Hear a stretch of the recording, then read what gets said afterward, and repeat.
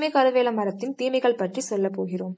இது வேளாண் நிலங்களையும் பிற வாழ்வாதாரங்களையும் நாசப்படுத்தக்கூடிய ஒரு கொடிய தாவரம். எந்த வறட்சியிலும் வளரக்கூடிய தன்மை இம்மரத்திற்கு உண்டு. இவை நிலத்தடி நீரை உறிஞ்சி தனது இலைகளை வாட விடாமல் பார்த்துக் கொள்கிறது.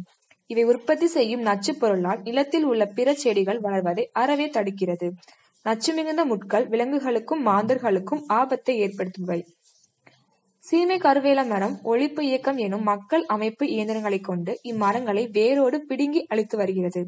ஆசிட் அல்லது வேறு வகையான முயற்சிகள் மண்வளத்தை கெடுக்கும் என்பது சீமை கருவேல மரம் ஒழிப்பு இயக்கத்தாரின் கருத்து. மேலும் பயன்பாட்டில் இல்லாமல் இருக்கும் இடத்தில் மீண்டும் நல்ல மரங்களை நட்டு வளர்ப்பதன் மூலமாக மீண்டும் சீமை கருவேல மரங்கள் முளைத்து விடாமல் அழிக்கப்படுகிறது. இந்த மரங்களை அழித்தாலும் மீண்டும் முளைத்து விடுகிறது என்ற பொதுவான கருத்து மக்களிடையே நிகழ்கிறது இவற்றை முறையாக அழித்தால் மீண்டும் வளரவிடாமல் அறவே அழிக்கலாம்.